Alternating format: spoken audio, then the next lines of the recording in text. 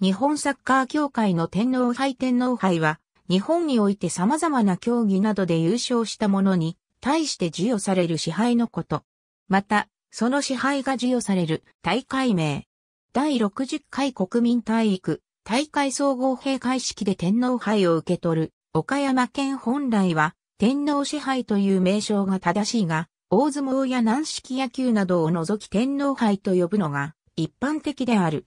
菊花紋章が配された銀製のトロフィーである。宮内庁から競技大会を運営する団体に対して可視されており、天皇杯は宮内庁に認められた証となるため、その競技に権威を与えている。歌詞は原則として1競技につき1つで、国内を統括する団体に与えられており各競技の日本選手権大会で優勝した選手に授与される場合が多い。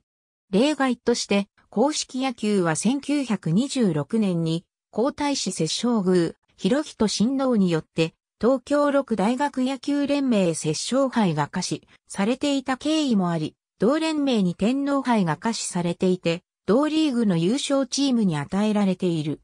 バレーボールやサッカーのように支配を授与する大会が変わるケースもある。ここで言う競技とは、スポーツ競技のみではなく、農林技術などの競技も含まれる。天皇杯の歌詞が行われていた頃は原則としてアマチュア競技のみが対象となっていたが、現在ではプロアマは関係なくなっている。男女別に行われる競技では、男子に天皇杯が可視されている場合、女子に対して皇后杯が可視されるケースも存在する。しかし、必ずしも男女ともに可視されるわけではなく、競技によっては男子のみの歌詞となっている。また、レスリングのように男女通じて選ばれた競技者に対して天皇杯が可視されるケースも存在する。近代スポーツ史において天皇杯の可視を受けた最初の事例は競馬にあり、1880年6月9日に横浜の居留外国人で組織された日本レースクラブが主催し、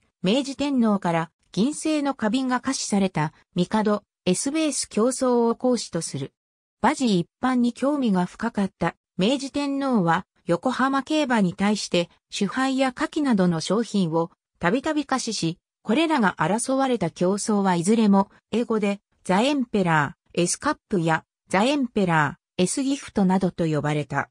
競馬の天皇賞はこれらの競走の流れを受け継いだもので、直接的な起源は1905年に日本レースクラブが菊花御紋付銀製花盛器の下賜を天皇賞歴史も三省太平洋戦争後すぐの頃までは直接トロフィーや盾を可視されるケースのほか貸金をもとに作成されたトロフィーも同様に呼ばれていたが現在はトロフィーや盾を可視されたもののみを天皇杯と呼ぶことになっている。日本相撲協会の支配天皇賞の優勝馬手に贈られる天皇盾。ありがとうございます。